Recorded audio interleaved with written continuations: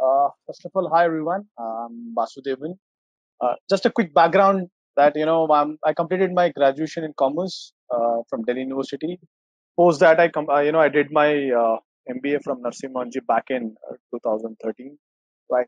And that's that's quickly about my educational background. And coming to the professional front, you know I I've been working with you know bank which is based out of US and you know it's been almost more than seven years in credit risk and you know i have I, you know have worked in uh, plenty of areas like you know rating credit rating credit risk and, and now slowly moving into analytics. Right.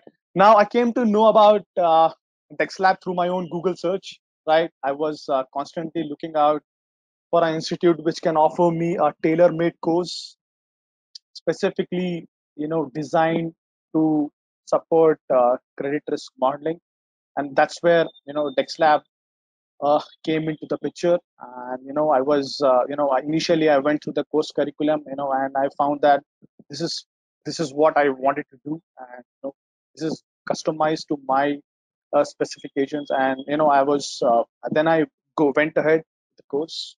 And overall experience has been wonderful.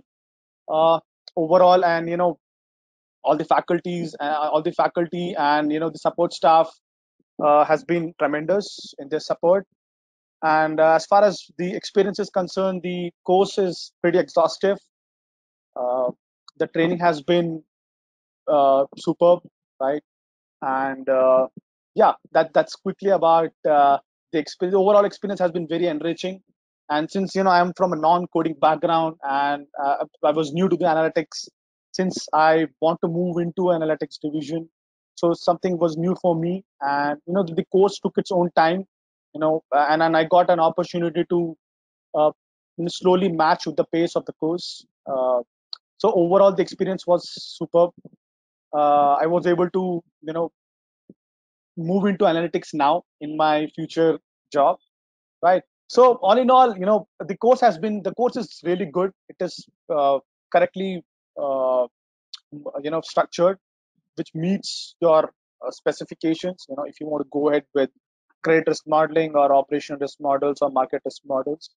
Right. So i would you know highly recommend to go ahead and uh, pursue this course if you are really you know wish to enter into analytics field and you know dexlab can offer you a custom made programs uh, so that you can you can you know you can enter into your field of your choice and you know in your career ahead.